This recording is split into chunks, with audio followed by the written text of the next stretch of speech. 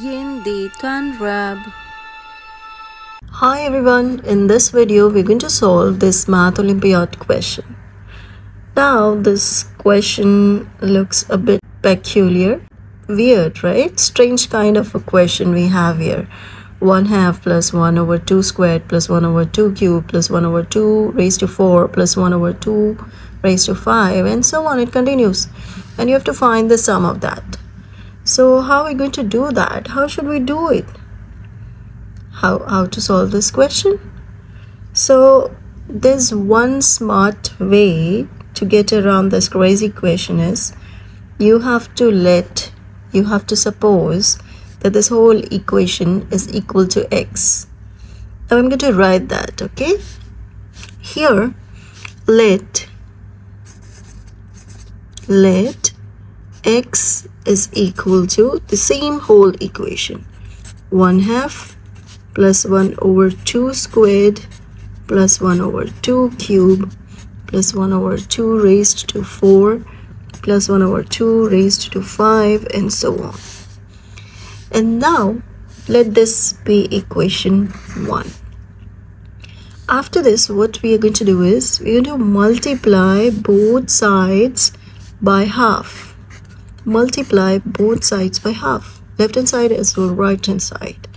So when you multiply half with x, it becomes half x is equal to multiply half with half. It becomes 1 over 2 squared. Again multiply one more half with this becomes 2 cube this becomes 2 raised to 4 plus 2 raised to 5 and it goes on and on. Let this be equation 2. Now what can we do? What do you think we have to do here is? Yes, from now we're going to subtract. You're going to subtract equation 2 from equation 1. So when you just subtract equation 2 from equation 1, what will happen? Let's see. That's minus, minus, minus, minus. You're going to subtract everything. So 1x minus half x. 1 minus half is half x. That's what you get. Is equal to half is there. 1 by 2 squared minus 2 squared cancel. 1 by 2 cube plus minus 1 over 2 cube cancelled.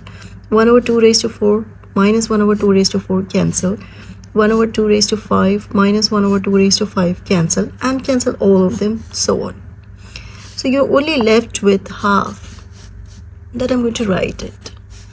So 1 half x equals to half. Now it's easy for us to solve for x. Now you've already got your answer. X is equal to just cross multiply it's dividing it will multiply 2 over 2 that's equal to 1 so you've got your value. X is equal to 1 and that's your answer choice B. So I hope this question is useful and you're going to use this kind of tricks and you have these kind of questions.